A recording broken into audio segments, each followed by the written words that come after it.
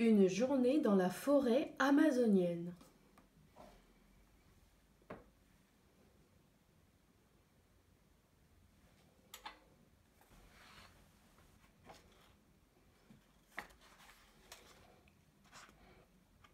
Alors que le soleil se lève sur la forêt amazonienne, un jeune singe araignée à tête brune et sa mère admirent la vue au-dessus de la canopée.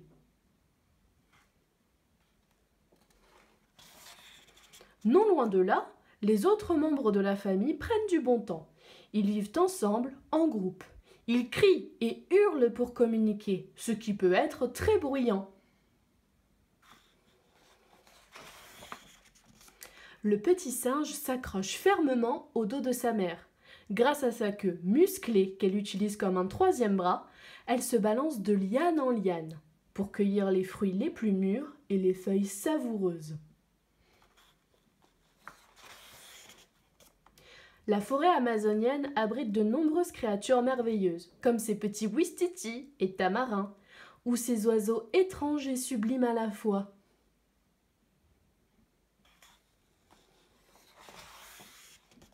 Mais où est donc passée la maman du petit singe? Il ne la voit nulle part dans cette canopée surpeuplée.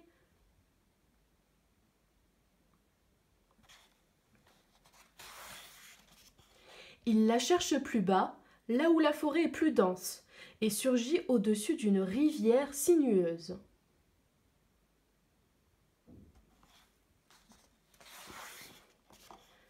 Son groupe s'y retrouve souvent pour boire, mais il ne voit sa maman nulle part.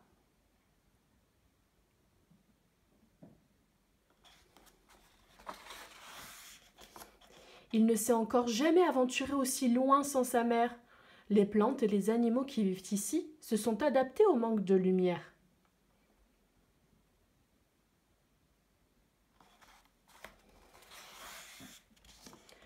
Et ils ne sont pas tous très accueillants.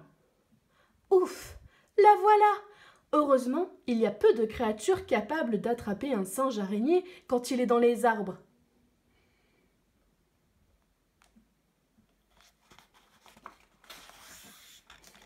L'obscurité s'épaissit et les animaux nocturnes sortent de leur nid cachés et de leur terrier secret.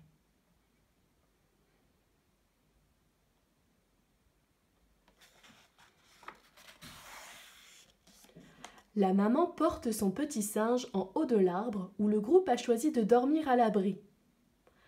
Alors que la forêt vibre au son des insectes, le petit singe s'endort dans les bras de sa mère.